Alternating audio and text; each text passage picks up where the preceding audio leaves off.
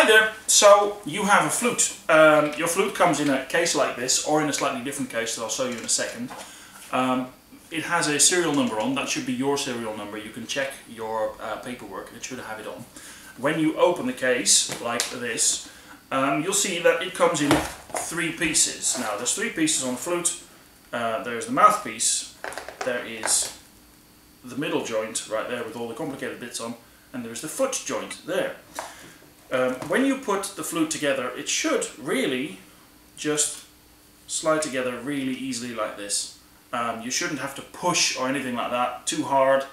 Um, if it's slightly sort of tight, you can twist it a little bit, uh, but don't rock it. Don't go uh, uh, uh, uh trying to get it in like that because you're going to bend it and it's not going to be very good for the instrument or for the way you sound on it as well.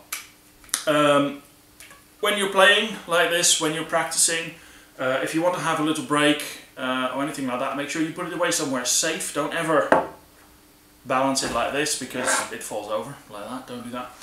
Um, put it away somewhere safe. Don't put it on a chair or on a sofa because someone might sit on it. Don't you know? Make sure your little brother can't get its hands on it and knock it at the end of the uh, on the end of the table and things like that.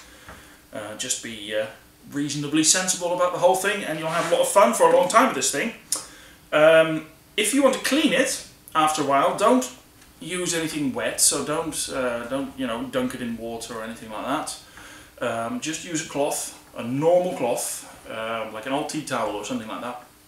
Don't use um, cloths with like silver polish or brass polish or anything like that because eventually that's going to uh, here mess up the connection and it's not going to really be very tight and very very nice anymore.